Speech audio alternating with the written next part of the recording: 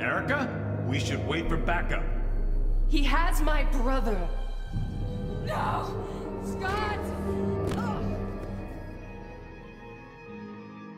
If you can see the past in ways no one else can, is it so strange that you should start seeing the future as well? Erica, every case you worked on, you've hoped it had something to do with Scott's killing. Sicko going out there and cutting out people's eyes, their ears, and their tongues. Sully!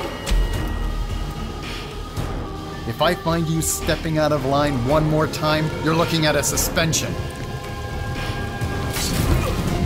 They're getting worse.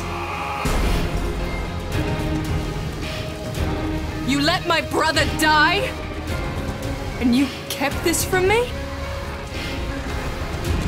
You could have prevented all of this suffering and death if you had just come clean in the first place. But instead, you used me. I didn't want it to go down like this. If you just trusted me, if you'd ever trust anyone, we wouldn't even be in this situation. So, shall we begin the experiment?